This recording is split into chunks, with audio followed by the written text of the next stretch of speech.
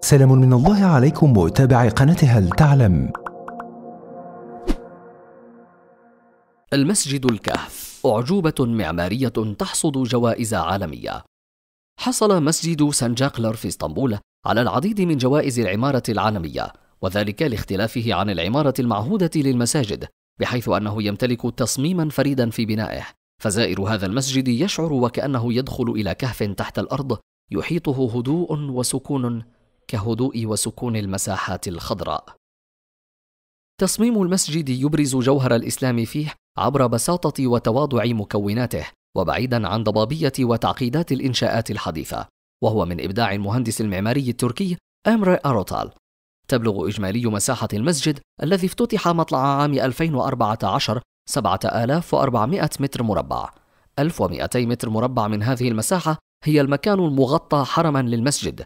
وبقية المساحة مخصصة للفناء والمئذنة وأماكن الوضوء أرض المسجد المنحنية توحي للمصلين بالدخول تحت الأرض، إذ تنقسم ساحة المسجد الداخلية إلى مستويات تنتهي بجدار المحراب، الذي صمم بصورة تسمح بتخلل ضوء الشمس من أعلاه عموديا، وتجعل المسجد جزءا من الطبيعة.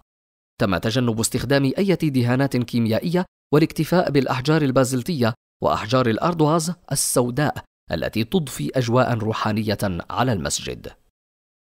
صممت الجدران الخارجية للمسجد في هيئة توحي وكأنها تضع حدا بين العالم الخارجي المختلط المضطرب وأجواء الخشوع والطمأنينة والهدوء داخل المسجد، كما أن درجات السلم المتجهة إلى الأسفل توحي للمصلي بأنه ترك الدنيا وراء ظهره في طريقه للقاء خالقه.